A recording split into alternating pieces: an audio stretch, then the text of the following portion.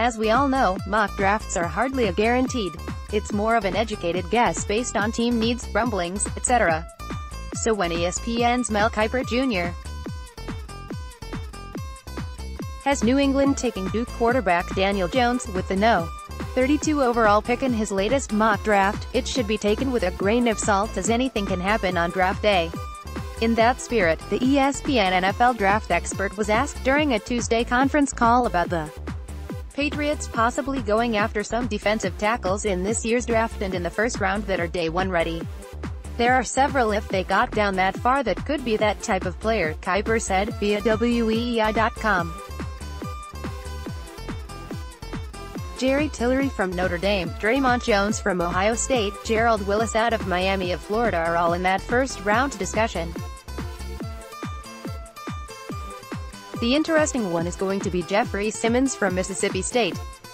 You have a kid that has top 10 talent, some might argue top 5 talent that would be there because he had the off-the-field issue and then the ACL injury, so if you want to medically redshirt him maybe for a year, you're getting a top 5, top 10 talent with the final pick in the first round.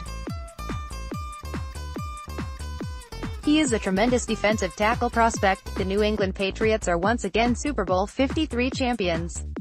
Take a second to sign up for our free Patriots newsletter. Asking this question really isn't out of bounds as it relates to the Patriots.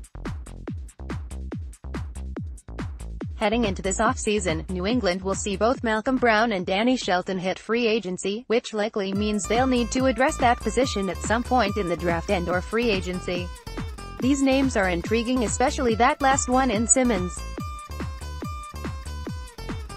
The 6'4", 300-pounder is quite the talent as he totaled 63 tackles, 18 tackles for a loss and 2 sacks last season at Mississippi State.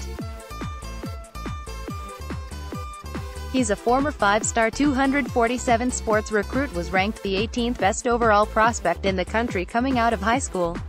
Given the Patriots' need at the position, it may be tricky for him to land in New England, given that Simmons suffered a torn ACL last week as he was preparing for the Combine and the NFL Draft, which will likely keep him out all of his rookie year.